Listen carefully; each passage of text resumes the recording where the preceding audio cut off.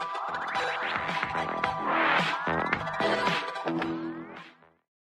Buon pomeriggio da Marcella Iannone di InfoWeb, l'editore di InfoBuild e InfoBuild Energia, i portali che da oltre 20 anni ehm, si occupano di edilizia e di architettura e di fonti rinnovabili e che ogni giorno sono consultati da più di 200.000 professionisti del settore.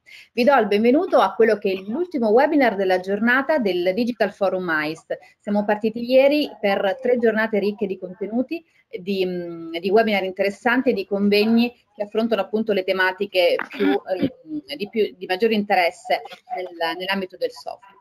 Um, per questo ultimo webinar abbiamo come eh, azienda protagonista ed il clima. Vi presento subito il dottor Stefano Silvera e Donatella Vicario che ci intratterranno per i prossimi 60 minuti. Buonasera, benvenuti.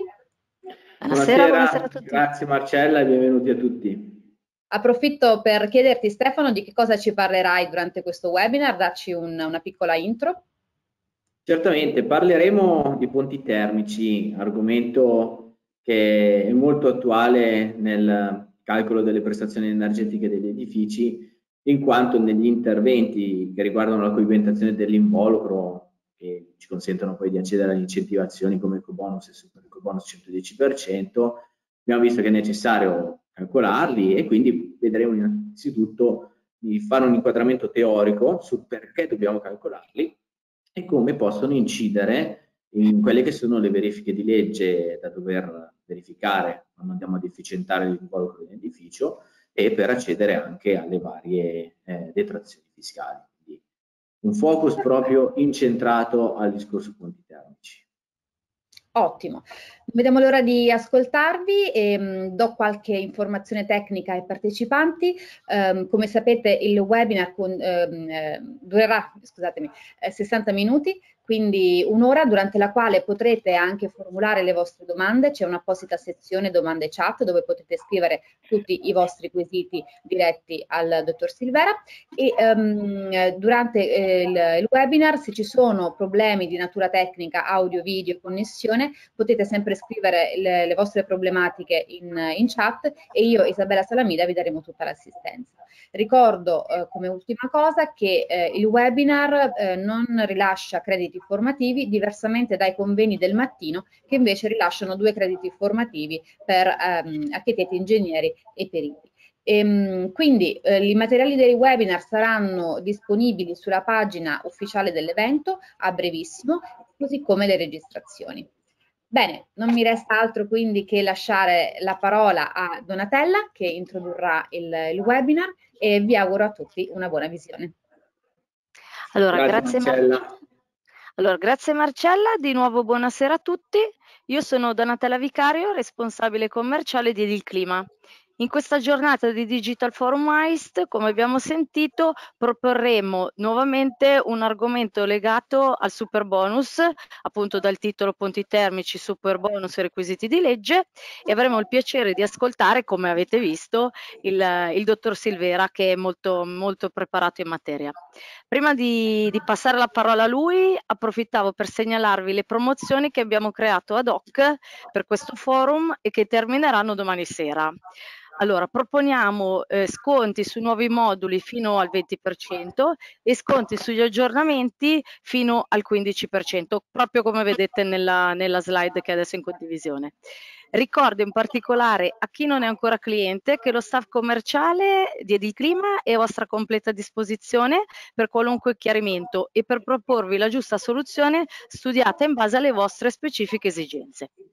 Ultima informazione di servizio, proprio questa settimana abbiamo pubblicato un nuovo listino con tre grandi novità per la linea termotecnica sui prodotti C700 calcolo delle prestazioni energetiche degli edifici e C709 ponti termici e C720 diagnosi energetica e interventi migliorativi.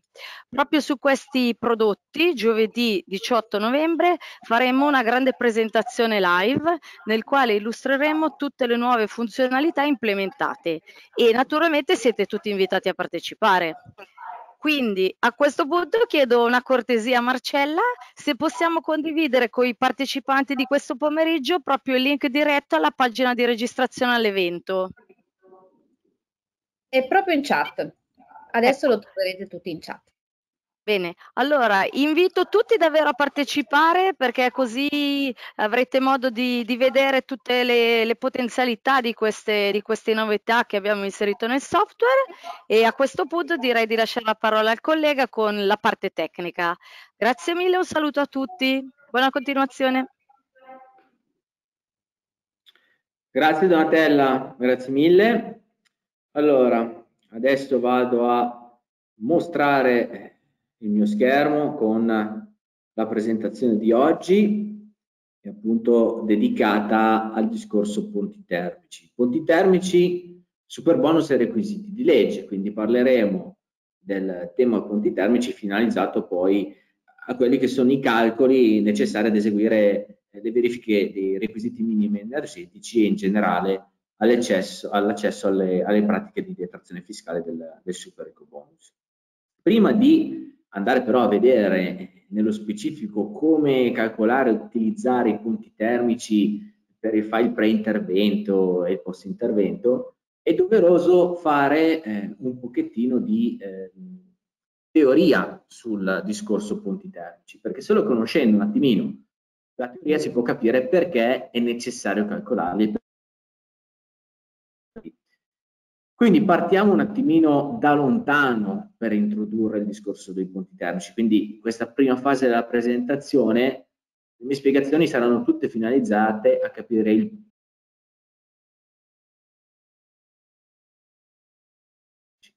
Partiamo da quello che è lo scopo principale di un software di calcolo delle prestazioni energetiche, ovvero il calcolo delle dispersioni. Software di calcolo esegue le simulazioni energetiche secondo le norme UNITS 11300, esegue come prima cosa il calcolo delle dispersioni delle strutture. Questo calcolo delle dispersioni delle strutture è poi quello che è necessario compiere per effettuare il calcolo dell'APE, dei requisiti minimi energetici e anche delle detrazioni fiscali. Quindi si passa sempre da questo calcolo delle dispersioni.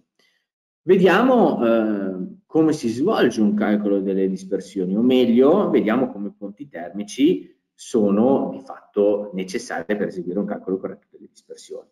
Poniamoci in una casistica delle più semplici possibili, una pianta quadrata, come vedete nella, nella slide che vi sto mostrando. Pianta quadrata, ignoriamo la presenza di un pavimento, ignoriamo la presenza di un soffitto, ignoriamo la presenza di finestre, sono semplicemente quattro muri da 10 metri l'uno. Attenzione, 10 metri l'uno però rilevati internamente. E quando io vado a fare un rilievo delle superfici disperdenti con finalità calcolo delle dispersioni, io potrei decidere di fare un rilievo interno o un rilievo esterno. Ed entrambe sono ammesse dalle attuali normative di calcolo.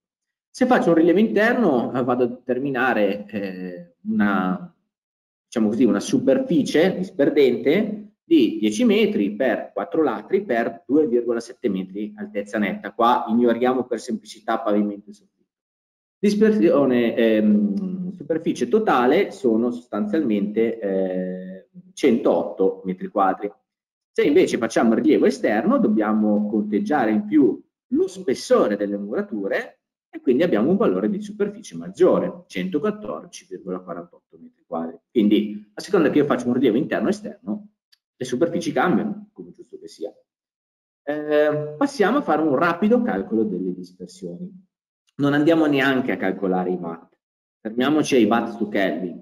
Quindi io parto da un valore di trasmittanza, ad esempio qua trasmittanza della parete 0,511 watt metro quadro Kelvin, e vado a moltiplicare la trasmittanza per la superficie, ottengo l'HT, il coefficiente di dispersione, i watt su Kelvin.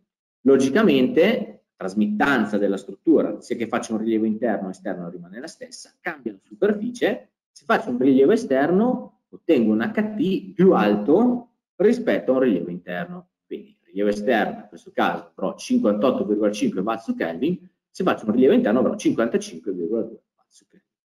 A questo punto la domanda è lecita. Quale dei due rilievi è più corretto tra quello esterno e quello interno? Al momento nessuno dei due, perché non ho considerato i ponti termici. Il rilievo esterno, determinando un HT più alto, va a sovrastimare le dispersioni, mentre quello interno li sottostima. Ora, se dovessimo fare solo un calcolo di potenza di picco, il rilievo esterno potrebbe anche andare bene, saremmo più calcolativi.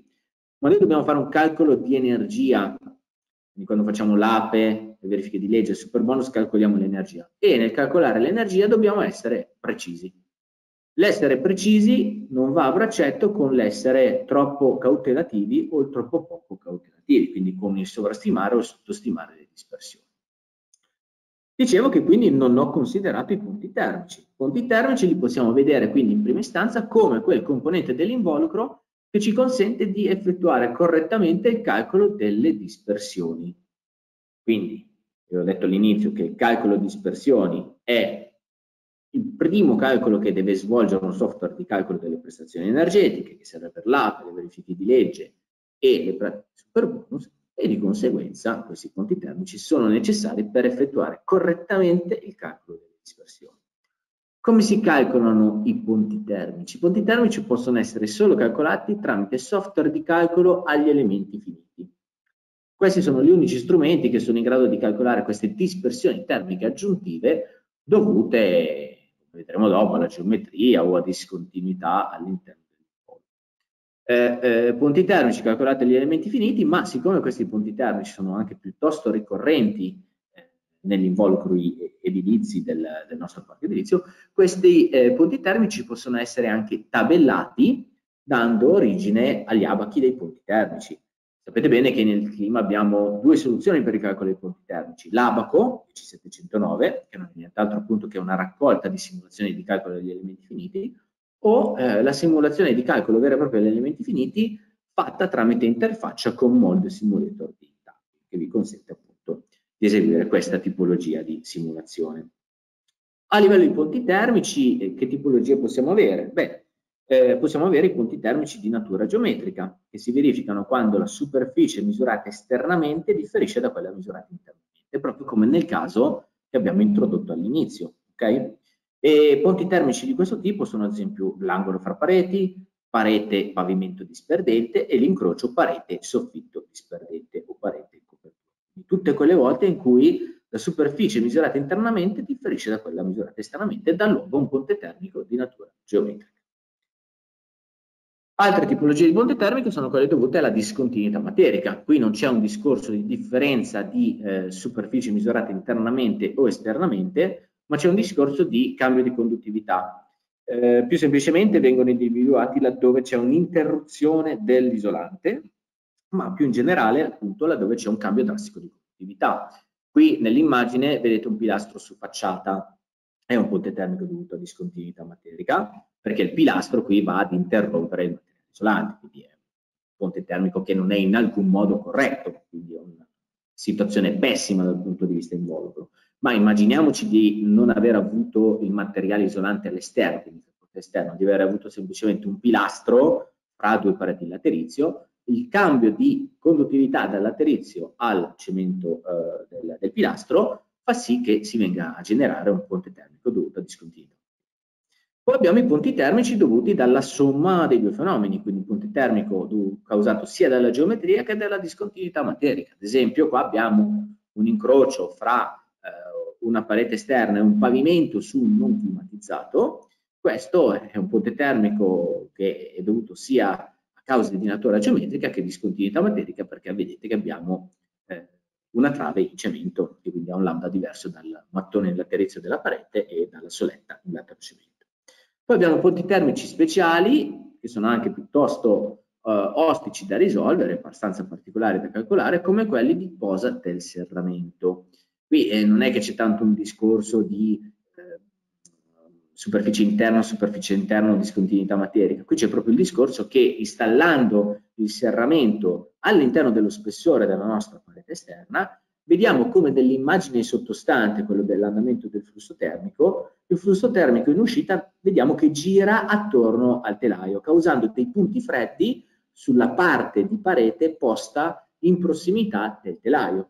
Qui, se non andiamo a correggere quella che è diciamo, la parte successiva, la parte posta dopo il telaio, si viene a generare un punto termico che può anche causare problemi di rischio muffo poi, eh, successivamente. È importante eh, conoscere eh, le cause che determinano i punti termici, perché poi quando andate a fare un sopralluogo, in funzione dell'edificio che state analizzando, dovete già farvi un'idea di quelli che saranno i nodi di ponte termico che dovrete poi calcolare ed inserire nel calcolo. Vedremo dopo con un esempio pratico come ci si può approcciare appunto a questo modo di eh, rilevare l'edificio, quindi non solo il classico rilievo dello spessore delle strutture, piantine, impianti e via dicendo, ma anche eh, andare ad individuare quelli che sono i nodi di ponte termico. Eh, passiamo a vedere al discorso del calcolo dei punti termici. Eh, vi ricordate, siamo partiti all'inizio dicendo che potevamo fare sia un rilievo esterno che un rilievo interno delle superfici disperdenti e anche i punti termici li posso calcolare riferendoli a un rilievo esterno oppure a un rilievo interno. Qui vi ho mostrato eh, anzi vi sto mostrando quello che è il risultato di calcolo di un ponte termico d'angolo con rilievo esterno delle superfici disperdenti. Se guardate nella uh, immagine di sinistra vedete delle linee verdi che sono delle linee di sezione. Queste linee di sezione eh, vanno ad identificare la tipologia di rilievo sostanzialmente. Qui si tratta di un rilievo esterno e vedete che vado a considerare come eh, lunghezza delle due pareti la loro lunghezza totale. Quindi questa parete posta qui sopra andrò a rilevare la superficie disperdente da questo punto fino al suo termine e idem anche per la parete posta in verticale. Cosa succede? Che rilevando le superfici disperdenti in questo modo vado a considerare per due volte la superficie dell'angolo. Tenete infatti conto che l'UPSI, che cosa è uguale? È uguale al, eh, all'L2D, quindi la dispersione che viene determinata col calcolo degli elementi finiti, meno eh, il prodotto U per S, quindi trasmittanza della eh, parete per la sua superficie. Qui sostanzialmente facendo un rilievo esterno vado a determinare meno dispersione col calcolo degli elementi finiti, con l'L2D, rispetto al caso in cui faccio il rilievo tramite superficie esterna U per S e quindi di conseguenza il ponte termico viene negativo. D'altronde con il rilievo con le superfici esterne vado a considerare per due volte ok, l'energia che mi esce da quest'angolo e quindi sto andando a sovrastimare quello che è il calcolo delle dispersioni. Pertanto il punto termico è negativo ed è corretto che sia negativo. Ci tengo a spiegarvi questo punto perché tantissime volte in passato, ma anche al giorno d'oggi, riceviamo domande in assistenza sul perché un ponte termico ha uno psi negativo, se è corretto che lo psi sia negativo e se è il caso di azzerare. Il ponte termico effettuando un calcolo con rilievo esterno delle superfici disperdenti, è corretto che venga negativo perlomeno nel caso dei punti termici dovuti a uh, un discorso geometrico. Se facciamo invece un rilievo interno, beh, con rilievo interno ci fermiamo a rilevare le superfici disperdenti solamente sulla faccia interna delle strutture e quindi non andiamo a considerare la dispersione data dall'angolo. Quindi col calcolo U per S andiamo a determinare una minor perdita di energia perché calcoliamo un pezzo di superficie in meno, mentre col calcolo degli elementi finiti, con l'L2D, andiamo a calcolare delle dispersioni aggiuntive. Quindi determinando lo psi riferendo alle dimensioni interne, determiniamo sostanzialmente un valore positivo, quindi uno psi positivo. Questo ovviamente per il punto termico d'angolo. Eh, se eh, abbiamo un punto termico dovuto sia a caratteristiche geometriche che dovute alla discontinuità materica, ovviamente le cose eh, vanno un attimino a compensare. La discontinuità materica tende sempre ad aumentare quello che è il flusso termico in uscita di calore, quindi tende a rendere positivo l'ossido del punto. Bisogna vedere chi vince fra i due fenomeni, se vince il fenomeno geometrico che tende ad ottenere degli psi negativi o quello dovuto alla discontinuità materica che generalmente determina degli psi con valore positivo. Andiamo a fare la prova del 9, quindi andiamo a calcolare le trasmittanze medie di, della nostra parete, mediandole con il punte termico. Quindi rilievo interno, abbiamo la nostra trasmittanza struttura 0,511 per 108 m2 di rilievo interno, più la dispersione del punte termico, rilevato alle dimensioni interne, quindi 0,1592 per 10,8, diviso la superficie disperdente interna ovviamente, trasmittanza media 0,527. Stesso discorso ma fatto con il rilievo esterno abbiamo 0,511 per 114 metri quadri, ma uno psi che è negativo. e quindi facendo il calcolo dello medio otteniamo un valore più basso, 0,497. Quindi a seconda del rilievo che andiamo ad eseguire, cambia il valore di trasmittanza media. Il rilievo interno tenderà a determinare delle trasmittanze medie un pochettino più alte, rilievo esterno, trasmittanze medie un pochettino più basse. Ora sapete che il decreto requisiti minimi vi chiede di verificare la trasmittanza media, ma il decreto requisiti minimi non vi differenzia i valori limite a seconda della tipologia di rilievo. Parla generalmente di trasmittanza termica media. E, dato che normativamente parlando posso fare sia un rilievo interno che un rilievo esterno, basta essere coerenti con i punti termici, io posso utilizzare entrambe le metodologie di calcolo per condurre la verifica di trasmittanza media della struttura. Inutile dirvi quali vi conviene considerare, quello esterno, perché il discorso dei punti termici con negativo vi consente di ottenere dei valori che sono un attimino più bassi non drasticamente più bassi, eh? un attimino più bassi. Però se avete difficoltà di verifica dello media per qualche cifra decimale, un rilievo esterno comporta un piccolo vantaggio. Eh, ovviamente arrivando a definire due valori di trasmittanza termica media verrebbe da dire ok però anche qui non trovo una quadra perché il calcolo de delle dispersioni non, non, è coerente a seconda che faccio un rilievo interno o esterno le dispersioni cambiano attenzione Facciamo la prova del 9 partendo dai due valori di trasmittanza media, per il rilievo interno e per il rilievo esterno, e moltiplichiamo rispettivamente per i valori di superficie disperdente. Guardate dove arriviamo, arriviamo a 56,92 watt su Kelvin per il rilievo interno e a 56,89 per il rilievo esterno, quindi c'è una differenza solo di approssimazione e comunque giungiamo all'HT vero e proprio che è 56,90. Quindi il rilievo interno o il rilievo esterno per funzionare devono eh, tener conto dei ponti termici. I ponti termici devono essere calcolati in maniera coerente con il rilievo delle superfici e se sono calcolati correttamente comportano il medesimo calcolo delle dispersioni, che sarà corretto ed equivalente a seconda che io faccia un rilievo interno. Quindi abbiamo capito la prima cosa importante, i ponti termici servono per effettuare correttamente il calcolo delle dispersioni. Calcolo delle dispersioni, come ho annunciato prima, a cosa serve? Beh, serve per effettuare correttamente il calcolo dell'ape, delle verifiche di legge e più in generale anche per determinare le PGL-NREN. Le PGL-NREN è l'indicatore di prestazione energetica globale non rinnovabile dell'edificio, che viene utilizzato per determinare la classe energetica del mio edificio oggetto di calcolo, ed è quindi quel parametro che serve per valutare il doppio salto classe richiesto dal super bonus 110%. Quindi vedete come le cose sono collegate. Ponti termici, calcolo delle dispersioni, PGLRNRN, doppio salto classe, super bonus 110. Eh, non solo però, una pratica super bonus 110% è prima di tutto una normale pratica di verifica dei requisiti minimi energetici di M26015. Questa è una cosa che per me è più che scontata, perché le detrazioni super bonus 110% sono un di più, del tipo voglio ristrutturare un edificio, non posso ristrutturarlo come mi pare piace, devo rispettare dei requisiti minimi energetici che mi dicono, sostanzialmente mi impongono dei valori limite che il mio sistema edificio impianto nella fase di progetto dovrà saper rispettare.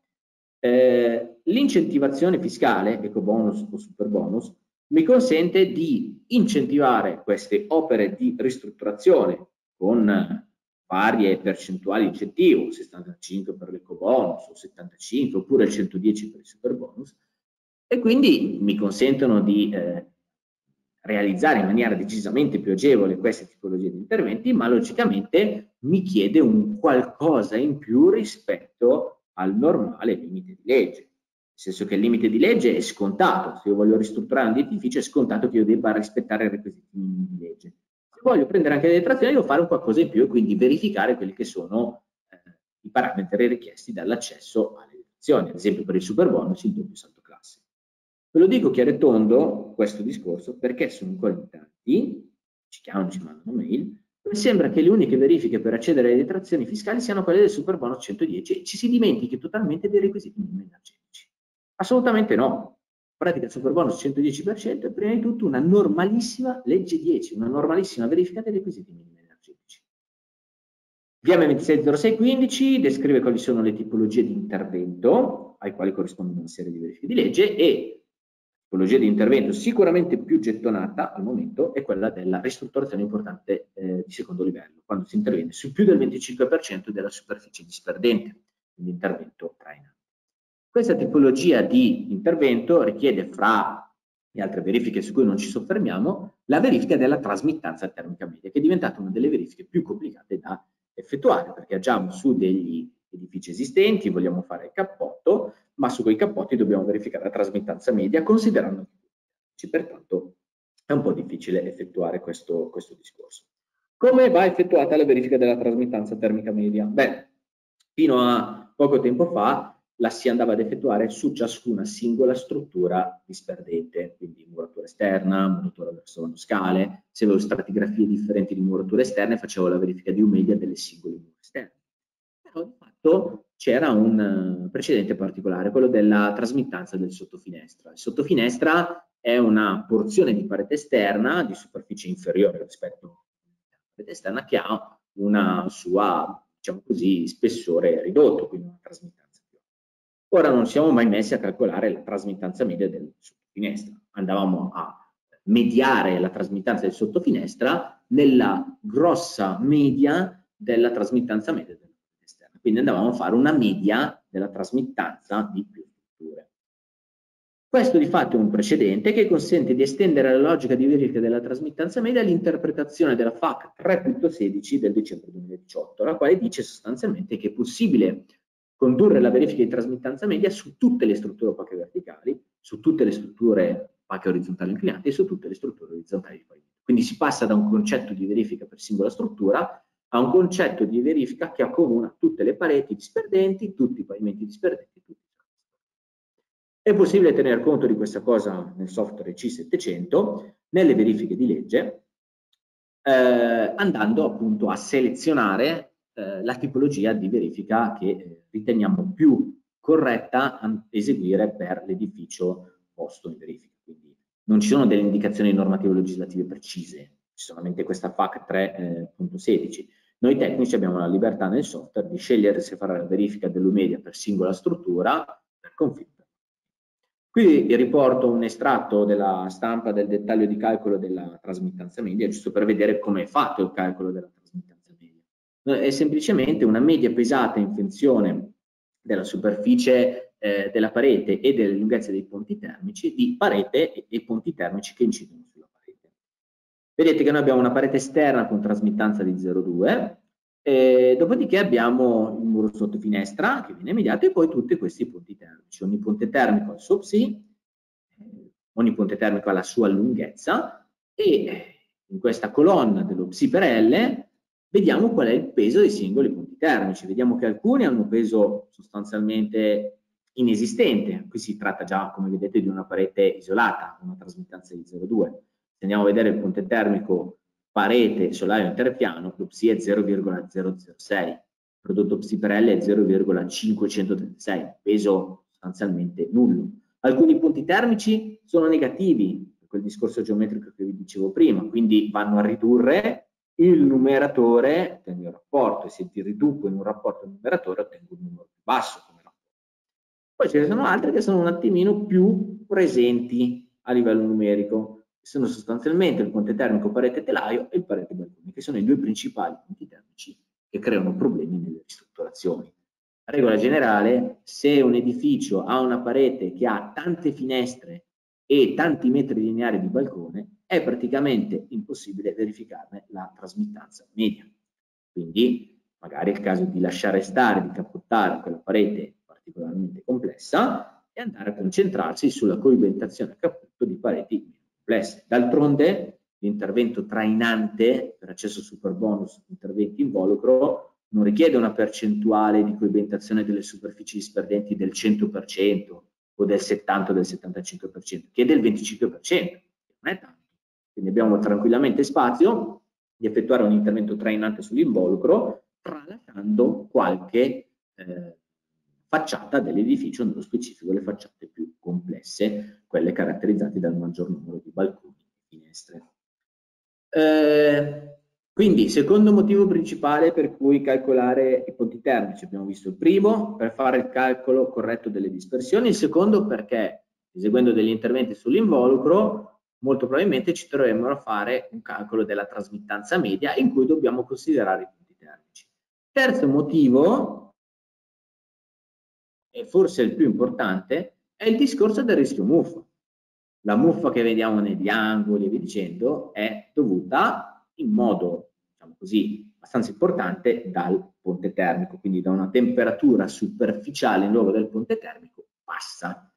Cosa succede? Che se ci sono dei punti freddi sull'involucro, lì l'umidità relativa sale e si verifica un valore maggiore dell'80%, può comportare il rischio di formazione muffa.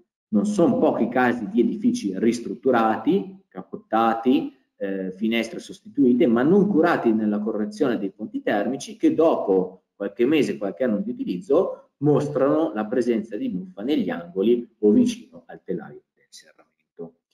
A livello legislativo abbiamo qualche obbligo?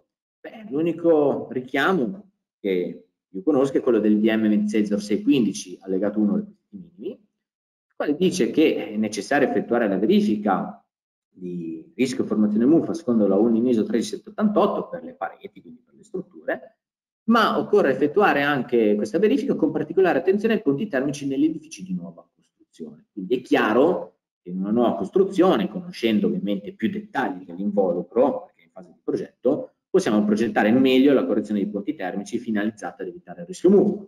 Su una ristrutturazione noi non conosciamo bene come sono fatti i punti termici, possiamo fare delle ipotesi che si potranno avvicinare più o meno. E il decreto non cita la ristrutturazione, ma quindi cosa possiamo fare? Possiamo non calcolarli? Eh, direi di no, perché dobbiamo portare particolare attenzione alle nuove costruzioni.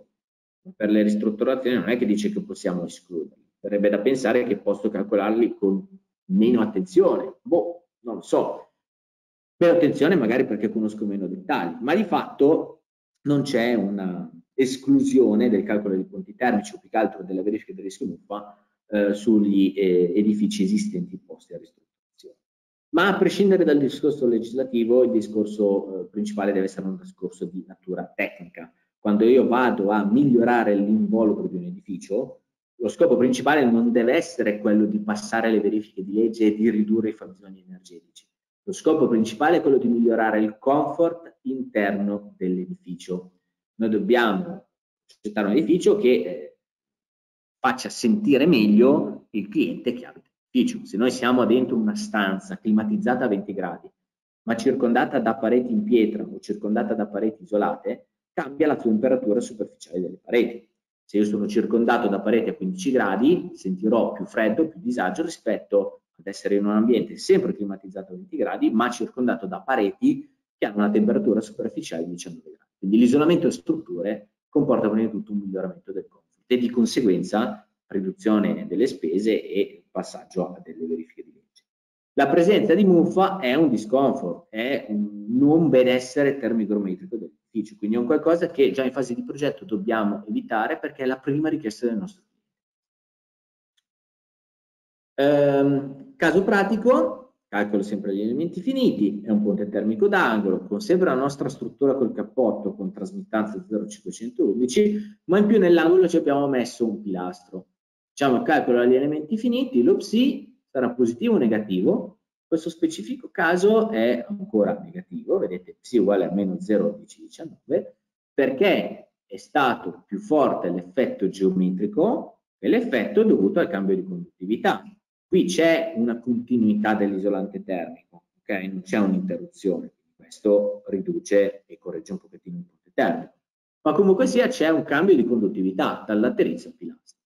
Però anche se ho uno psi negativo non vuol dire che la verifica del rischio muffa sia eh, anch'essa eh, positiva, quindi che non ho rischio muffa.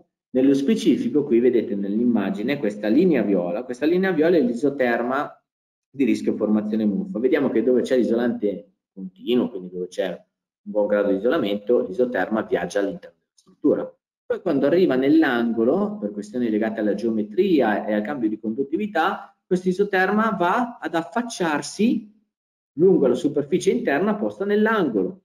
E questo cosa vi segna? Vi segna il rischio di formazione muffa proprio nell'angolo. Quindi anche se uno psi negativo, potrei lo stesso avere un rischio muffa. Però cosa posso fare? D'altronde io ho coibentato con continuità il mio angolo.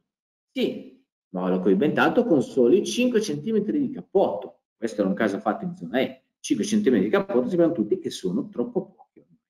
Pertanto, al fine di portare questa isoterma di più verso l'interno della struttura e non farla affacciare lungo le superfici interne, dovrò aumentare lo spessore dell'isolante. Passiamo allo studio di un caso pratico.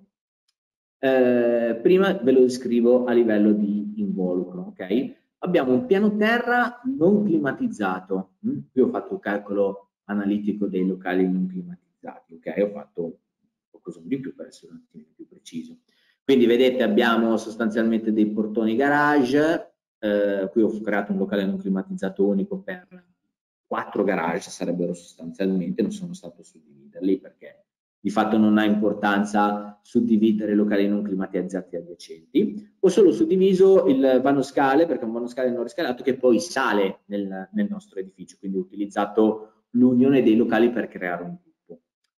Poi abbiamo un primo piano climatizzato composto da due appartamenti, un appartamento a destra e un appartamento a sinistra col vano scale in mezzo non climatizzato. E abbiamo già su questo primo piano dei balconi, vedete abbiamo un balcone sul retro e dei balconi terrazzo sul, eh, sulla parte anteriore. Dopodiché saliamo al piano secondo e abbiamo anche qui due appartamenti, gli stessi uguali di prima e anche qui ci sono dei balconi. Infine l'ultimo piano è un sottotetto non climatizzato, anche qui ho disegnato il sottotetto per fare il calcolo analitico e per disegnare anche il tetto perché la gronda mi dà poi l'ombreggiamento.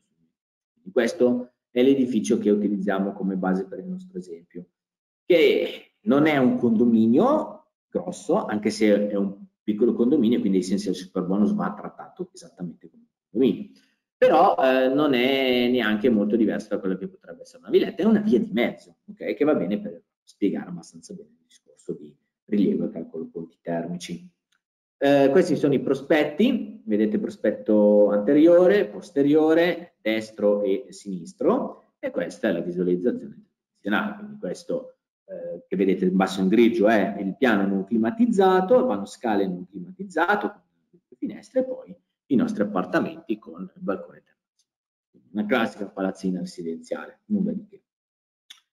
Eh, quale intervento facciamo? Fra tutti gli interventi che possiamo fare, noi qua vogliamo parlare esplicitamente di ponti termici e sostanzialmente, ehm, sostanzialmente eh, abbiamo una coibentazione delle strutture. Ovviamente mi sono accorto adesso che qualche errore nelle presentazioni ci scappa sempre, mi si possono controllare mille volte, ma qualcosa scappa sempre, infatti vedete che la parete esterna, che era una parete a cassa vuota, aveva una trasmittanza iniziale di 0,913 e poi cappottandola con 12 cm di polistirena grafite 0031, ovviamente la sua trasmittanza non è 1,942, qua si vede che ho copiato questi due valori di trasmittanza, scende a circa 0,2, quindi eh, cancellate questa trasmittanza 1,942 sarà un 0,200 qualcosa.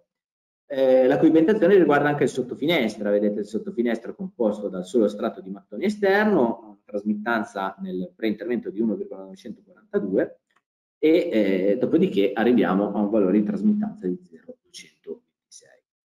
Coibentazione, copertura esterna sottotetto, sapete che c'è un discorso di eh, possibilità di eh, portare in detrazione anche la coibentazione della copertura del sottotetto non climatizzato trainandolo di fatto all'intervento trainante sull'involucro. Quindi se faccio un intervento trainante sull'involucro posso poi portare in detrazione anche la coibentazione della copertura del, eh, del sottotetto non climatizzato. Ok, prima di procedere con il discorso di eh, calcolo dei punti termici, chiedo a eh, Marcella di lanciare un piccolo sondaggio per vedere se siete eh, ancora tutti attenti e eh, vediamo un po' come, come rispondete. Quindi eh, Marcella, prendi pure la, la parola per, per lanciare la, la nostra domanda sondaggio. Eccoci qua. Allora, il sondaggio ci chiede, nella simulazione pre-intervento di un edificio, è necessario inserire ponti termici? Potete eh, scegliere la vostra risposta tra le seguenti. Solo se gli interventi prevedono l'isolamento dell'involucro. Sempre, a prescindere dalla tipologia di intervento, solo se fra gli interventi si sostituiscono i serramenti, oppure solamente se l'edificio presenta problemi di muffa. Potete scegliere la vostra risposta direttamente sullo schermo, quindi se ci seguite da un dispositivo mobile cliccando sul, um, sullo schermo del cellulare oppure sullo schermo del vostro PC. Qualora non um, siate, siate impossibilitati a farlo, alcuni dispositivi potrebbero avere qualche limite, potete scrivere la vostra risposta in chat e ovviamente ne terremo conto per i calcoli statistici. Lasciamo magari qualche secondo ancora anche se buona parte del, dei partecipanti ha già formulato la sua scelta. Nel frattempo vi ricordo che nella sezione documenti ci sono due eh, documenti che il Clima ha voluto condividere con voi, un catalogo e nuovamente il, um, il coupon per gli sconti per l'acquisto dei dei loro software. Benissimo, magari ancora qualche secondo, le ultime votazioni sono ancora in corso. Bene, allora chiudiamo quindi il sondaggio. Più buona parte eh, del, della nostra audience ha, ehm, ha, scelto la propria risposta, condividiamo i risultati. Allora, per il 14% solo se gli interventi prevedono l'isolamento dell'involucro, la stragrande maggioranza, quindi per l'85%, invece risponde sempre, a prescindere dalla tipologia di intervento, e l'1% solamente se l'edificio presenta problemi di muffa. Sì, bene, allora le, le risposte che avete dato mi confortano, nel senso che l'85% ha dato ovviamente la risposta giusta. Abbiamo visto che i ponti termici servono per effettuare correttamente il calcolo delle dispersioni, quindi quando sono da considerare i ponti termici? Sempre perché dobbiamo sempre fare un calcolo delle dispersioni. Il 14% che eh, ha, definito, ha scelto di calcolarli solo quando si prevede l'isolamento dell'involucro, allora in quel caso lì sicuramente i punti termici acquisiscono ancora maggiore importanza perché oltre ad essere utilizzati per effettuare il calcolo delle dispersioni, eh, li devo utilizzare anche in post intervento per fare il calcolo della trasparenza media, quindi è ancora più importante considerarli. Ma non è il caso di esclusività, quindi abbiamo introdotto, abbiamo definito già prima all'inizio che i conti termici li devo considerare per fare correttamente il calcolo delle dispersioni e io il calcolo delle dispersioni li devo fare a prescindere che faccia degli interventi sull'involucro o anche solo sull'impianto. Bene, procediamo e andiamo a vedere quali sono i punti termici che ho considerato per questo edificio. Ho considerato nove nodi di punti. In tanti mi chiedono quanti nodi devo considerare nell'edificio? C'è chi dice, ah, per un edificio vanno considerati 40 punti termici. Boh, bisogna anche vedere, io faccio fatica di individuarne 40, se non che si facciano degli interventi differenziati sulle singole strutture. Diciamo che in generale sono quei 7, 8, 9 punti termici, 9 nodi punti termici, che solitamente si trovano sempre in quasi tutti gli edifici. Io solitamente parto dall'alto verso il basso. Allora, il primo nodo è lo Z1, parete, solaio verso climatizzato, perché in questo caso un solaio verso climatizzato, poteva se no essere un parete solaio verso terreno. Poi saliamo di un piano, Z2, parete solaio interpiano. Poi Z3, parete copertura. Prescendiamo un attimo, non ho dappertutto l'interpiano, ho anche il balcone. Laddove ho il balcone, il ponte termico di solaio interpiano cambia e diventa un termico. Poi le finestre, parete telaio. Poi gli angoli, angolo sporgente e angolo rientrante. Poi ho dei pilastri in facciata e infine parete e balcone, ma su un nodo che prevede la parete e il pavimento utilizzato. Okay? Quindi questi eh, ponti termici io già li devo annotare in fase di, eh, diciamo così, eh, sopralluogo, in fase appunto di input grafico e li devo inserire anche appunto nel mio rilievo grafico. Quindi devo creare nel mio eh, elenco dei componenti, i termici, e li devo inserire anche nel mio. Questo lo devo già fare nel pre-intervento, perché già nel pre-intervento devo fare correttamente il calcolo delle prestazioni energetiche. Ponti termici li utilizzo per fare correttamente il calcolo delle prestazioni energetiche, arrivare a una PGL NRE corretto, perché il doppio salto classe lo devo calcolare rispetto al preintervento. Quindi, così come devo essere preciso nel calcolare la classe post, lo devo essere anche nel calcolare la classe di preintervento. Inoltre, inserendo, anzi scusate, creando tutti questi ponti termici nel preintervento ed inserendoli nell'input grafico, avrò già un modello di sistema edificio impianto già pronto per poter supportare le simulazioni del post intervento. Quindi io creo un modello preintervento con tutti i nodi di ponte termico, andandoli ad assegnare nell'input grafico, dopodiché il mio post intervento diventa una copia del intervento in cui andrò semplicemente ad aggiungere l'isolante alle strutture e andrò a ricalcolare l'ossi dei ponti termici passando a strutture isolate ovviamente cambia la trasmittanza. Rimane da scegliere in che modo calcolare questi punti termici? Devo utilizzare l'abaco o il calcolo agli elementi finiti? Allora ho provato a fare, sia nel pre-intervento che nel post-intervento, il calcolo di tutti questi punti termici o con l'abaco o col calcolo agli elementi. Prendiamo ad esempio il primo punto termico, lo Z1, parete solaio verso non climatizzato. Allora, quando faccio un calcolo con abaco, che vi ho riportato le C709, devo fare delle approssimazioni. Nello specifico, vedete che il modello di ponte termico è rappresentato da una parete costituita da un unico strato omogeneo, caratterizzato da uno spessore e da un lambda. Mentre il pavimento, in questo caso, è rappresentato da questo S-Sol, del coibente sopra, dove l'S-Sol è puro cemento. Noi abbiamo una soletta in lattero cemento e una parete con eh, intercapedine d'aria, quindi una parete che non è composta da un unico strato omogeneo, è composta da tre strati differenti. Quindi per ricondurmi a questa situazione, io devo calcolare una struttura, una parete equivalente alla mia composta da tre strati, equivalente composta da uno strato. Quindi come spessore di questa parete considererò la somma degli spessori dei vari strati che la compongono. In tonici possiamo anche tralasciare, eh? possiamo considerare anche solo i due laterizi e l'intercambio e come lambda calcolerò un lambda medio pesato in funzione dello spessore dei singoli strati. Quindi lambda del laterizio 1 per il suo spessore, lambda dell'intercapedine d'aria per il suo spessore e lambda del laterizio esterno per il suo spessore, fratto lo spessore. In questa maniera ho, eh, tra virgolette, calcolato una muratura equivalente composta da un solo. Qui nel modello ho sostanzialmente una soletta in cemento più l'isolante. La mia soletta non è il cemento, è, non è in, in, cemento, è il laterizio, quindi ha una trasmittanza inferiore rispetto a quello del modello. Pertanto sono andato a scegliere la cosa che più si avvicinava, ovvero quello eh, in cui il modello presenta una soletta cemento più dell'isolante. Questo perché come trasmittanza massima della soletta arrivo fino a 0,7. Okay? Poi la mia trasmittanza del cemento sarà un, un po' più alta nello specifico, però con questo modello posso spingermi al massimo fino a 1,07, non di più.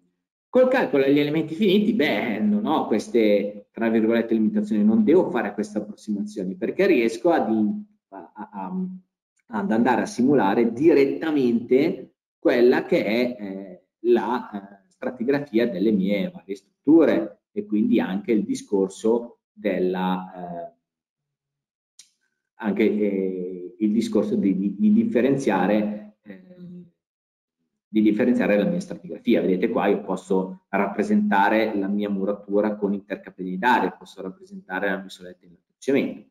Quindi qua sicuramente la possibilità di inserire in maniera puntuale, in maniera molto aderente alla realtà, tutte eh, le condizioni del contorno e le caratteristiche delle mie strutture fa sì che il calcolo sia sicuramente più preciso. Ma di quanto più preciso? Vedete qua l'effetto preponderante è l'effetto geometrico, tant'è che i punti termici hanno un segno negativo. Abbiamo meno 0,157 per il caso studiato agli elementi finiti e meno 0,189 per il caso studiato con il C709 facendo queste approssimazioni. Quindi c'è una differenza non altissima e vediamo quanto pesa questa differenza per lo scopo di calcolo che abbiamo nel pre-intervento, ovvero unicamente calcolare le dispersioni. Qui non dobbiamo fare un calcolo di trasmittanza media o un calcolo di disturbo. Qui vi ho elencato quelle che sono le dispersioni dovute ai punti termici del pre-intervento calcolato con Abaco e del pre-intervento calcolato col calcolo degli elementi. Vedete che ci sono alcuni punti termici che hanno dei pesi differenti perché lì l'approssimazione è un po' troppo elevata, mentre ce ne sono altre che sono molto molto simili. Guardate il parete solare interpiano, 0,253 contro 0,223. Abbiamo 1209 kWh contro 1373, quasi stessa cosa. Poi eh, sì, ci sono altre tipo parete e copertura 0064 contro 0031, uno doppio dell'altro, però i metri lineari non sono tantissimi, quindi parlano poi fuori 200 kWh e via dicendo. Comunque sia, eh, ovviamente questi pesi dei ponti termici, eh, chi più chi meno, si compensano e arriviamo a questa situazione. Qua KND fa bisogno di energia utile dell'involucro 128,88 contro 128,01, praticamente molto molto simili. Peso delle dispersioni capo dei ponti termici 5% con l'Abaco, 4,5% con calcolo degli elementi. E PGLNRN è sostanzialmente lo stesso, 191,62 contro 190,47, c'è la differenza di 1, qualcosa kWh quadro e la stessa classe energetica. Quindi in un pre-intervento fare simulazione di elementi finiti col moldo o con l'Abaco è più o meno la stessa cosa.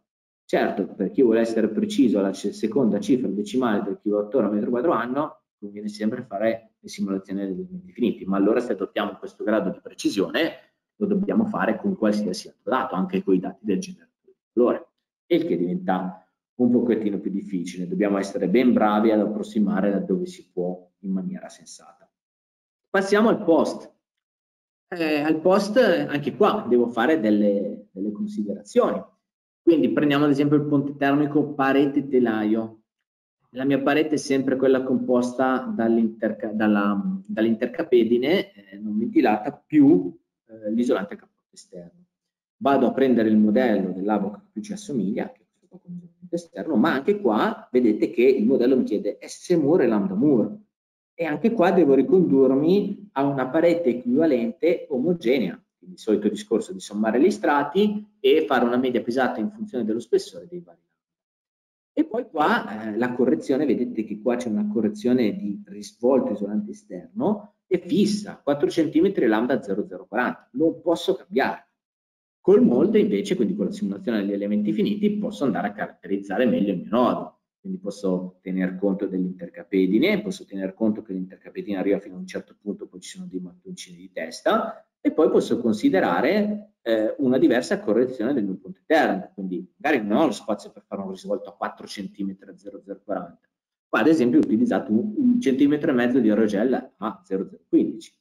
Trasmittanza ineica di calcolo, eh, qua vediamo 0048 con l'Abaco e 0104 con il calcolo degli finiti, quindi qui l'Abaco mi avrebbe eh, determinato quella che può essere una soluzione eh, migliorativa della realtà, quindi piuttosto che non considerare questo ponte termico, non considerare la correzione, sicuramente è meglio farlo con l'Abaco, ma eh, se la mia soluzione reale si discosta un pochettino dalla realtà, sicuramente la simulazione di calcolo di elementi finiti mi permette di simularla nella maniera più corretta, nella maniera migliore eh, e vedere anche quale correzione può essere più eh, sensata per la mia casistica. Anche qui vi ho fatto il confronto, fra abaco e calcolo degli elementi finiti del post. Vi ho riquadrato in verde quei ponti termici che possono tranquillamente anche nel post intervento essere calcolati con, con l'abaco perché non cambia di fatto niente. Guardate parete solare interpiano 008 con l'abaco e 006 col calcolo. Non cambia di niente. Laddove c'è una continuità di isolante, il discorso di passare alla parete omogenea non comporta delle grosse differenze sullo psilicale. Stesso discorso per gli angoli rientranti e sporgente per facciata. Laddove invece c'è una certa differenza, ce l'abbiamo invece nei nodi un attimino più complessi, ad esempio il parete eh, balcone e il parete balcone su ambiente non climatizzato o il parete telaio. Su quelli c'è una certa differenza e il calcolo degli elementi finiti mi può far determinare diciamo, questi punti termici in maniera più corretta. Quindi vedete che nel post intervento, laddove abbiamo un posizionamento dell'isolante, l'utilizzo dei ponti termici da simulazione degli elementi finiti vi consente di eh, determinare un fabbisogno energetico un pochettino più basso perché abbiamo aumentato la precisione di calcolo. vedete che da un quark ND di 64,77 si passa a un 61,86, peso delle dispersioni dei ponti termici 5,7% contro un 2,9%, PGL NRM di 105,93 contro 102,06 classe C. Quindi, bene o male, eh, diciamo la grandezza è confermata, ok? Ma passando al calcolo elementi finiti siamo un attimo precisi. Questo per quanto riguarda dispersioni PGL NRN classe. Vediamo un discorso di verifica di trasmittanza media. Verifica di trasmittanza media, qui vi ho riportato sostanzialmente la stessa immagine che avevamo visto prima.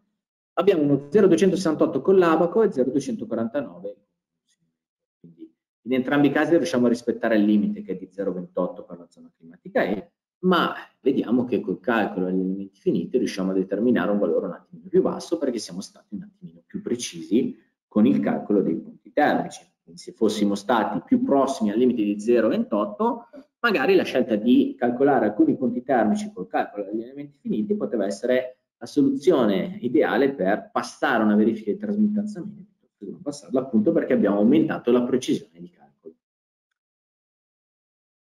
Inoltre, con il calcolo degli elementi finiti, possiamo fare un qualcosa in più relativamente al rischio MUV.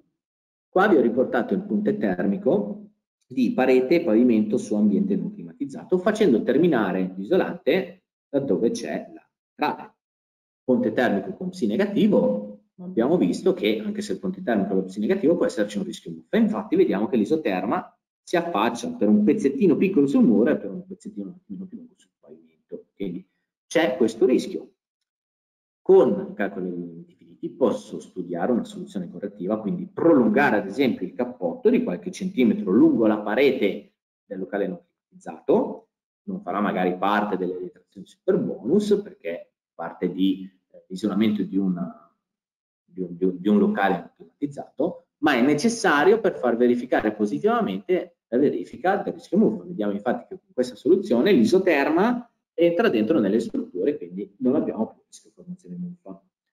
Idem anche sul discorso del eh, ponte termico del serramento. Guardate qua, qua ho fatto il cappotto esterno senza fare il risvolto dell'isolante, ok? Magari non ho un ponte termico particolarmente negativo, però guardate questo grandissimo problema. L'isoterma del rischio muffa si affaccia qua sulla superficie interna della muratura esterna in prossimità del telaio tanti casi in cui viene nera la parete in prossimità del telaio e sono proprio casi dovuti alla mancanza di risvolto dell'isolante, perché appunto vedete dal flusso termico che qua c'è un infittimento di flusso termico che gira attorno al telaio, quindi questa parte qua è particolarmente fredda. Facendo il calcolo degli elementi finiti riesco ad andare a ipotizzare nella mia geometria l'inserto, inserimento di una correzione con aerogel e vedete come questo elemento coibentante ci consente di andare a spostare l'isotermo a rischio muffo all'interno della struttura senza farla affacciarsi. E questo vi può appunto determinare una verifica di rischio muffo positivo, mh? Hm? soprattutto se poi si cambia anche serramento. Eh, procedendo, quindi per chiudere, si può passare poi al discorso delle verifiche dei requisiti minimi energetici, con le verifiche di legge 10, in questo caso ristrutturazione importante di secondo livello, vedete il dettaglio della trasmittanza media, dal software, e infine la verifica di accesso alle detrazioni, quindi il nostro software, il C700 e il modulo aggiuntivo 778, mi consente di verificare il doppio salto classe, intervento, e le verifiche eh, per l'accesso alle detrazioni, quindi la percentuale di intervento sul, sulle superfici disperenti dell'ordine esistente, il confronto della trasmittanza delle strutture isolate rispetto al valore limite, questo sia delle strutture post che per le strutture pre-intervento, le quali devono avere un valore più alto del limite, e poi viene anche calcolata eh, il risparmio di energia primaria rinnovabile di progetto secondo la procedura di calcolo semplificato di ENEA. Un calcolo non un ITS 11.300, richiesto da ENEA per scopi parrebbe unicamente a livello statistico, quindi non oggetto di controllo, e il software applica questa procedura di calcolo semplificata fornendovi questo risparmio da compilare sul portale. Con questo chiuso la mia presentazione, chiedo a Marcella se magari abbiamo il tempo di leggere magari qualche domanda che magari ci hanno inviato. Allora, magari... abbiamo davvero un minuto, un paio sì. di minuti. Quindi magari okay. se vuoi ci sono delle domande, le puoi vedere anche allora, tu. Vediamo come, subito. Sì. Magari abbiamo appunto il tempo di rispondere almeno a una domanda, massimo due.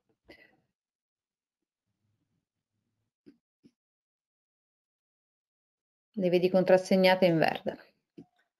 Prima domanda, ma considerare le dimensioni interne o esterne porta a trasmittanze medie, eh, compresi punti termici differenti. È possibile? Certo che sì, abbiamo visto che dal punto di vista tecnico un rilievo interno e esterno comporta delle trasmittanze termiche medie che sono un pochettino differenti, perché appunto dipendono dal rilievo. A livello di decreto legislativo si parla generalmente di trasmittanze medie, non vengono fatte delle distinzioni fra rilievo interno e esterno, non esistono dei valori limite per trasmittanze medie per rilievo interno o esterno. Quindi, dato che entrambi i calcoli sono ammessi, ovviamente un calcolo con rilievo esterno vi consente di passare in maniera più agevole le verifiche di trasmittanze medie. Quando uscirà eventualmente un nuovo decreto legge che imporrà dei valori diversificati di trasmittanza media per rilievo interno e esterno, avremo due valori eventualmente differenti. Questo sempre se verrà eh, effettuato. Vediamo un po' cos'altro.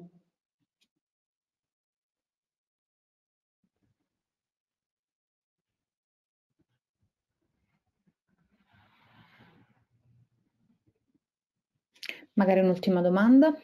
Sì. Allora, eh, se si considera il ponte termico nel suo valore esterno, nell'input grafico, al momento del tracciamento delle murature, si deve necessariamente considerare, penso, il filo esterno.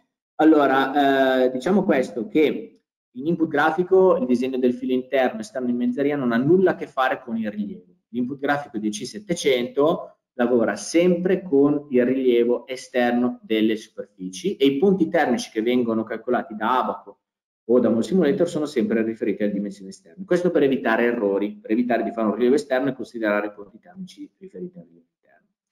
Il discorso della linea di ubicazione dell'input grafico serve semplicemente per capire qual è la linea di riferimento del disegno. Nello specifico, se fate un cappotto esterno, dovete disegnare con la linea di riferimento interna, in modo tale che nel post intervento, quando aumentate lo spessore della parete, questa cresca verso l'esterno e non verso l'interno. Se me la disegnate con la finitura esterna, la parete crescerebbe in spessore verso l'interno rubandovi superficie. Quindi eh, disegnate con la finitura interna se dovete fare dei capotti esterni e questo non comporta, diciamo così, una differenziazione del rilievo che è sempre fatto esterno. Direi a posto, basta così Marcella? Eccoci qua. No. Ok. Ok, allora ovviamente mh, sono arrivate più domande di quelle che, che hai potuto leggere, quindi noi promettiamo come sempre di inviare all'azienda tutti i quesiti arrivati e ovviamente sono di interesse per l'azienda anche per capire il grado di interesse, quali sono gli argomenti di, di, maggiore, di maggiore, interesse del, dei partecipanti e, ehm, perché no, magari c'è anche la possibilità di rispondere direttamente ai partecipanti. E, ehm, io ringrazio il dottor Silvera per la sua spiegazione, per la sua relazione sempre molto precisa e dettagliata. Abbiamo avuto davvero un seguito mh, con numeri molto alti, sia in questo webinar che in tutti i webinar del, dell'evento del Digital Forum AIST. Eh, con questo concludiamo la seconda la seconda giornata. Um, abbiamo un'altra, un'altra, ultima giornata domani eh, che si aprirà con il convegno istituzionale e poi a seguire avremo invece altri webinar di altre cinque aziende. Um, quindi um, ringraziando ancora il, um, il, dottor Silvera, grazie Stefano, davvero. Grazie a tutti, grazie a voi, grazie Marcella. Grazie Il Clima. Vi do l'appuntamento domani. Partiamo in un orario um, non solito perché anticipiamo di 20, minuti, di 20 minuti il convegno del mattino. Partiamo alle 9.10 con il convegno istituzionale. Vi ricordo che um, prevede il rilascio di due crediti formativi e um, il titolo del convegno è della normativa alla pratica, il supporto del BIM alla progettazione integrata. A seguire um, di corsa alle 11.45 partiremo con CAD Line Software um, alle 13 seguirà Team System, alle 14.15 torneranno il, um, i tecnici di Stadata, alle 15.30 invece passeremo a Softing e alle 16.45 chiuderemo i webinar del pomeriggio con CDM Dolmen. Vi aspettiamo tutti numerosi domani, um, potete ancora iscrivervi ai, ai, webinar alla pagina ufficiale del, dell'evento e io vi auguro una buona serata e ringrazio ancora il dottor Silvera ed il Clima. Grazie, Ciao a tutti da Marcella Iannone da InfoWeb.